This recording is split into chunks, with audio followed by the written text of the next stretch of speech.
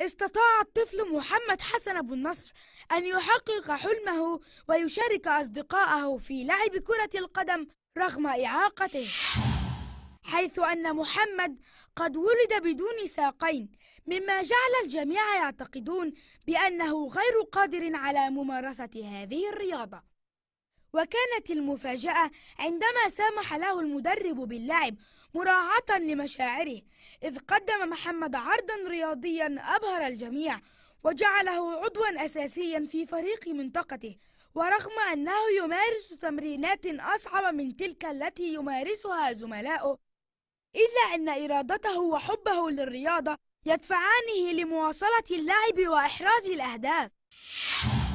إنه موهوب حقا يتحرك ويتمرن ويحرز الأهداف أيضا باستخدام يديه فقط. وهذا دليل حي على أن قوة الإرادة تصنع المعجزات. تحياتنا لك محمد. ولكل أصحاب الهمة العالية والإرادة القوية.